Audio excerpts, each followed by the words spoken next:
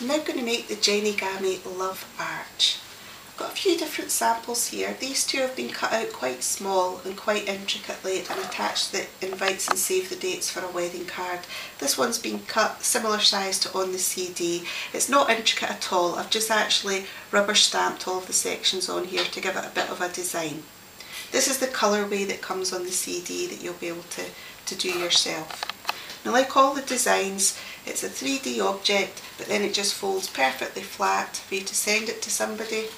And I'll show you at the end the best way to attach it to a card.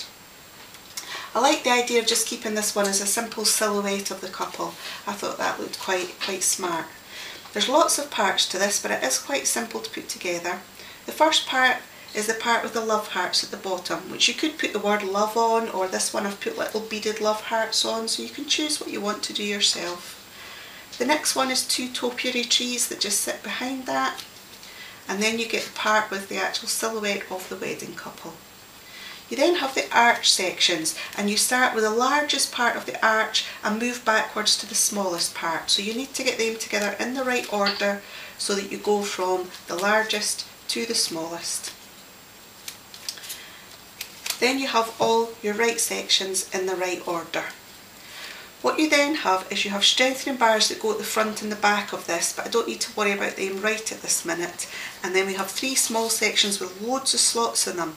One of these is going to go right the way along the centre here, and then the other two are going to go either side. So I'm going to start with the centre one, and I'm just going to slot all of these parts into this section here, in the right order of course. Um, I know I'm doing this upside down, but whoops, I kind of just find this the easiest way to work with this design.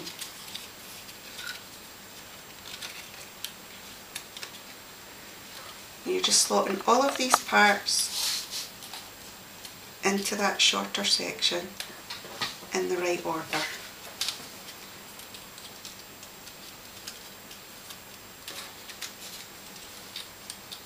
I'm trying to keep hold of them all at one end at the same time so they don't all pop back out again. Now as I'm adding more and more I'm actually getting the design flatter and flatter because it is far easier to work with when you keep it flat because there's so many pieces to hold together. So I've now got that joined right the way along the middle. What I'm going to do is add the strengthening bars at the front slot that's left from that wee bar and the back slot that's left from that bar. Now as you can see on this design I've only actually cut out the front colour of the template, I haven't cut out and coloured the back but I think that actually works fine for this particular design. Now we now have a whole load of slots either end and what we need to do is to weave these in and out of these slots. Now this is where I do actually think it is a lot easier to do holding it flat like this. I just weave up the first one and now it's quite handy to have nails here if you haven't got more than one set of hands just to weave it into all the different sections.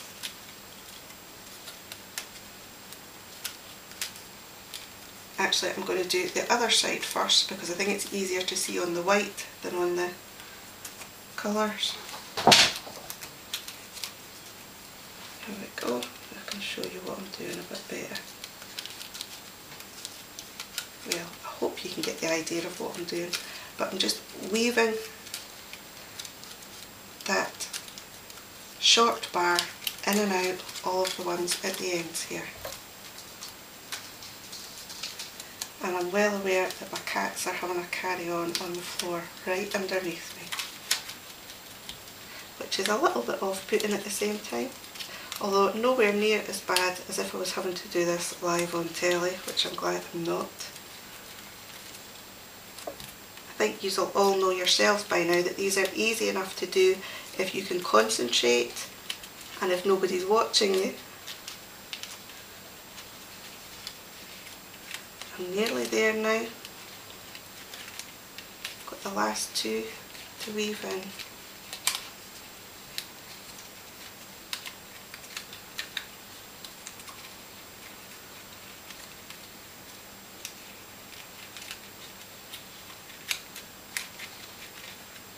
And it's always the last piece that causes the trouble.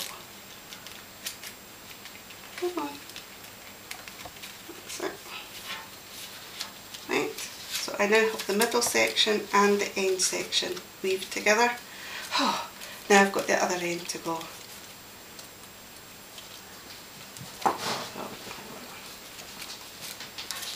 take this again and I'm going to weave it right the way along these sections.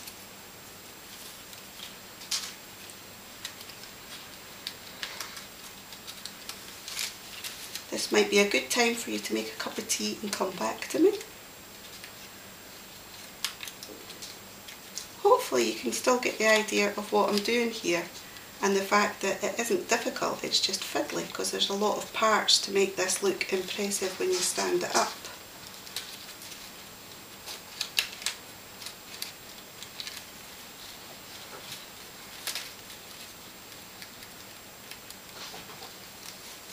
I'm nearly there and I'll start to explain to you about attaching it to a card. Yeah, last one to go.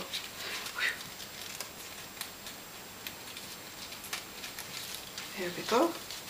Oh, I'm just going to topiary trees uncaught. And here we have a black silhouette design. Now because I've been moving all the paper we can see it bends a little bit I would just straighten that out so it looks a bit smarter. And there we have the love arch.